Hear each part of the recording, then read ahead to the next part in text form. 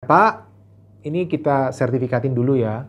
Saya kasih tanda jadinya ke biaya sertifikat notaris ini. Loh nanti kalau eh, kamu nggak jadi beli gimana?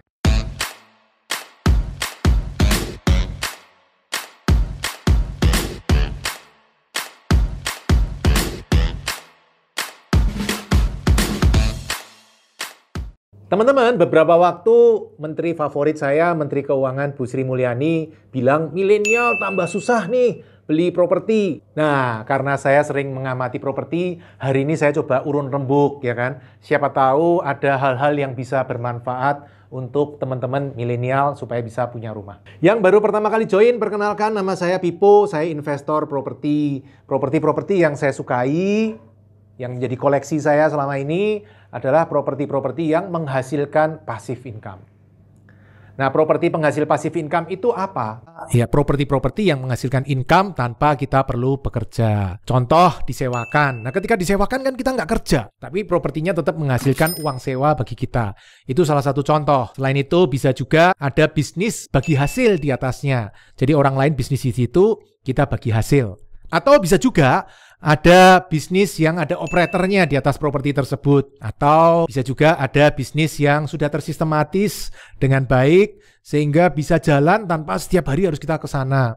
Contohnya minimarket waralaba atau toko ban motor franchise. Milenial semakin sulit untuk beli properti karena properti tambah lama tambah mahal, teman-teman. Menurut saya pasti properti tambah lama tambah mahal pasti, teman-teman. Karena itu makanya saya senang invest properti karena nggak usah pusing secara umum properti tambah lama tambah mahal. Kenapa tambah mahal? Karena buminya terbatas, manusianya nambah terus, ya kan? Dulu tahun 1960 jumlah penduduk Indonesia kayaknya nggak nyampe 100 juta. Hari ini jumlah penduduk Indonesia sudah 270 juta dan nambah terus. Sementara buminya kan nggak nambah. Indonesia dari dulu ya segitu ya segitu-segitu aja nggak nambah luas. Nah, kalau orangnya nambah banyak, maka kebutuhan tanahnya semakin tinggi. Makanya properti secara umum naik. Secara umum ya, tentu ada daerah tertentu yang naiknya tinggi, ada daerah yang pelan, ada mungkin beberapa daerah yang turun, ada. Tapi secara umum, secara rata-rata naik. Penyebab lain properti naik adalah karena perekonomian. Ekonominya semakin lama semakin maju, orang semakin pengen tanah yang lebih luas ekonominya membaik sehingga orang pengen tambah luas. Tadinya cuma 90 meter pengen jadi 300 meter, yang 300 meter pengen jadi 1000 meter, yang 1000 meter pengen jadi 5000 meter. Sehingga tarik menarik properti akhirnya harga properti naik. Nah, gimana caranya milenial bisa punya properti dalam kondisi yang tidak mudah seperti ini? Kalau saran saya, satu, cara supaya milenial punya properti. Satu milenial, halo milenial-milenial, jangan lihat bangunannya. Yang penting beli tanahnya dulu. Tidak harus beli tanah kafling. Enggak, saya tidak menyarankan teman-teman beli tanah kafling loh. Maksud saya beli properti, rumah, yang penting tanahnya dulu. Tanahnya bagus. Jangan milih yang Wah, apa ini sudah arsitektur ini itu ini itu. enggak, enggak gitu teman-teman. Yang penting beli tanahnya dulu. Entar kalau ada rezeki lagi, baru kita bangun rumahnya atau perbaikin rumahnya. Tapi nanti, yang penting tak beli properti, tanahnya bagus, bentuk rumahnya jelek nggak apa-apa. Syukur-syukur orangnya bilang, itu saya cuma hitung tanah, itu aja tanahnya saya murahin. Nah, itu menarik. Tapi kalau daerahnya jelek, tapi bentuknya bangunan bagus, waduh teman-teman hindarin. Itu menurut saya nggak worth it. Yang kedua teman-teman, jelek nggak apa-apa. Maksudnya jelek bangunannya nggak apa-apa. Renov aja, dicat-cat aja, cat murah cat-cat aja kasih pohon-pohon, yang penting listriknya diperbaikin supaya nggak masalah.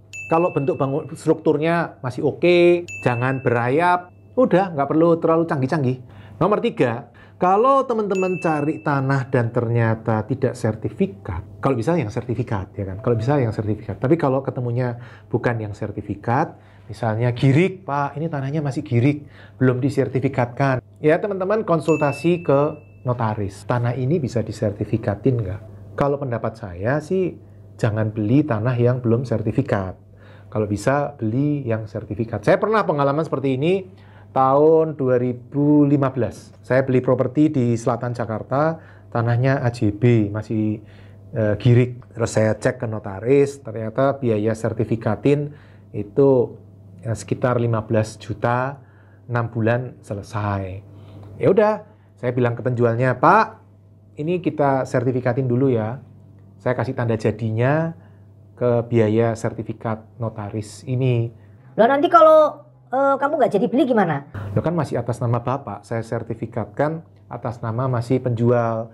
Kalau saya batal, mestinya nggak batal sih Pak, tapi amit-amit kalau sampai batal, Bapak kan juga untung, tanahnya juga udah disertifikatin.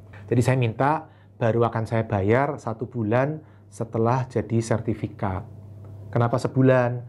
Karena biasanya KPR itu prosesnya satu bulan. Jadi bayangan saya waktu itu, saya beli tanda jadi 15 juta, disertifikatkan, 6 bulan selesai, baru kita urus KPR-nya sekitar satu bulan, satu bulan cair, baru kita jual beli. Nah, nomor empat teman-teman, fokus saja ke properti yang murah, tapi aksesnya bagus. Aksesnya bagus itu gimana?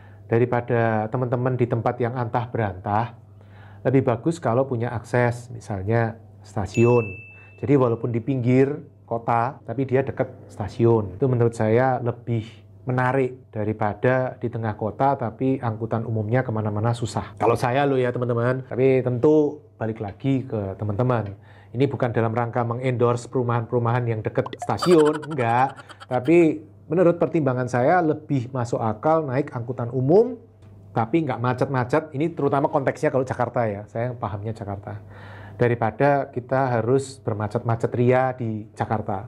Gimana kalau teman-teman di tempat kota teman-teman macet nggak? Kalau macet ya prinsipnya seperti itu. Kita penting cari yang aksesnya gampang. Nah kemudian poin kelima adalah tentang KPR. Hmm, menurut saya kok masih bisa ya teman-teman. Menurut saya lo ya, saya bisa salah. Coba kita hitung ya. Coba kita hitung berapa kalau eh, harga properti maksimal yang bisa dibeli oleh uh, teman-teman milenial dengan gaji UMR. Ini anggap tahun 2022 UMR 4,5 juta Berarti kan berdua 9 juta income sekeluarga.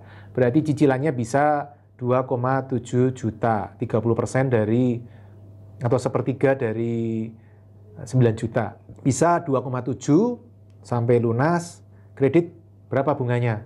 Tadi sih sekilas saya lihat ada yang 8 lah ya. Jangka waktu 20 tahun, 240 bulan. Berarti teman-teman bisa beli properti yang 322 juta pokok utangnya.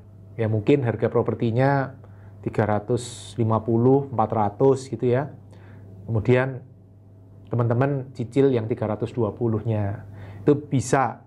Tapi kalau bunganya 8. Kalau bunganya 5 Pak, ada promo nih. Bunga bank ada yang 4,88. Berarti bisa beli properti yang sampai harganya 413 juta. Atau Pak, saya masih muda Pak, masih bisa 30 tahun ada kredit yang 30 tahun, ya berarti bisa yang 500 juta. Jadi menurut saya untuk ukuran Jabodetabek, UMR 4,5 juta, properti 500 juta itu masih kekejar. Suami istri loh ya, pasangan loh ya. Pak, tapi saya tinggalnya di daerah yang UMR-nya murah ya Pak. Saya tinggalnya di daerah yang UMR-nya 2 juta. Berarti berdua 4 juta. Berarti bisa nyicilnya 1 30% dari 4 juta. Berarti 1,2 juta berarti 1,2 juta. Bisa beli properti yang 226 juta. Jadi menurut saya bisa. Nah, yang poin ke-6, poin berikutnya adalah saya ya, saya saya itu hobinya lebih senang beli properti yang secondary. Ada beberapa properti saya primary yang maksudnya secondary itu bekas. Kalau primary itu beli dari developer dari yang baru gitu kan. Kalau saya biasanya lebih senang yang secondary. Kenapa? Karena kalau primary biasanya lebih bagus, lebih mahal. Saya senangnya secondary yang mungkin eh, murah-murah, bisa ditawar dengan harga miring, dan pilihannya kan banyak sekali. Tapi ya bebas teman-teman, kalau saya sih seperti itu. Mudah-mudahan teman-teman ambil keputusan sendiri. Ada beberapa pertimbangan saya kenapa saya senang secondary, yaitu uh, satu biasanya lebih murah walaupun lebih jelek ya kan. Ya nanti dibedain sedikit kan jadi bagus. Kedua, biasanya tanahnya sudah sertifikat sehingga kalau mau setahun dua tahun kemudian mau dijual ke orang lain gampang. Poin terakhir nomor tujuh adalah ya kita cari properti yang lebih murah. Ya tentu butuh effort, nggak cuman sekedar cari-cari properti yang sudah diiklan di mana-mana. Mungkin nggak seperti itu. Bisa bisa aja kita punya teman di bank, mungkin ada yang kesulitan bayar daripada dilelang, ya kita mungkin bantu dengan membeli harga sedikit di bawah harga pasar tapi ya lebih bagus dari harga lelang. Mungkin seperti itu juga salah satu alternatif untuk milenial dapat properti yang uh, lebih murah. Kan intinya gimana caranya milenial punya properti ya kan? Ya jangan harus properti yang baru di daerah perumahan ya nggak harus seperti itu. Ya kalau mampunya baru yang secondary tapi lokasinya prime bagus ya, jelek gedungnya jadi harus dicat-cat ya nggak apa-apa juga atau ya nggak harus di developer bisa di iklan cari di iklan-iklan itu bisa juga alternatifnya. Jadi nggak cuma cari di developer tapi bisa juga cari di iklan. Atau teman-teman juga boleh kalau misalnya ada teman di bank yang orangnya mau jual cepat gitu ya. Itu kan salah satu alternatif sumber info properti yang murah yang bisa dijangkau oleh teman-teman milenial. Apalagi teman-teman milenial ini kan udah jago-jago nih IT-nya ya kan? Nyari properti di mana-mana mana udah jago, tinggal dilihat di Google Maps masuk nggak, aksesnya gampang atau enggak. Kalau bagus, gampang ya menarik untuk dipertimbangkan. Gitu teman-teman, mudah-mudahan bermanfaat untuk teman-teman milenial. Mudah-mudahan bisa segera punya properti uh, dan jangan lupa kalau bisa, kalau bisa cari properti yang ada pasif income-nya. Jangan cuma cari properti rumah. Rumah itu nggak ada pasif income-nya, malah jadi biaya. Uh, kalau properti yang ada pasif income-nya, nah itu baru bisa disebut sebagai investasi. Oke, sampai ketemu di lain waktu. Selamat hunting properti. Terima kasih telah mengikuti video hingga selesai. Untuk yang belum subscribe, ayo subscribe channel Pipo Hargianto dan klik lonceng notifikasi untuk mengikuti video-video selanjutnya.